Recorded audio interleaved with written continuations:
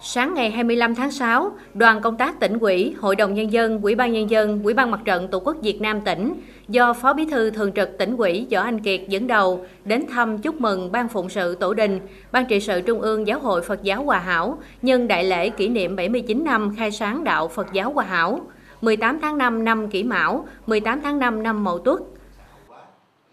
Thay mặt lãnh đạo tỉnh An Giang, Phó Bí thư Thường trực tỉnh ủy Võ Anh Kiệt gửi lời chúc tốt đẹp đến Ban trị sự Trung ương và toàn thể tín đồ Phật giáo Hòa Hảo, một mùa lễ vui tươi, ấm cúng, an toàn, tiết kiệm.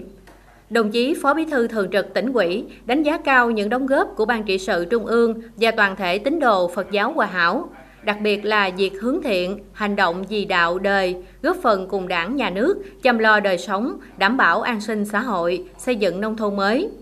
Qua đó mong muốn Ban trị sự Trung ương Giáo hội Phật giáo Hòa Hảo và các tín đồ đạo Phật giáo Hòa Hảo tiếp tục phát huy tinh thần đoàn kết, thống nhất, hoạt động đúng đường hướng, chấp hành tốt các chủ trương chính sách của đảng, nhà nước, góp phần xây dựng khối đại đoàn kết toàn dân tộc ngày một vững mạnh.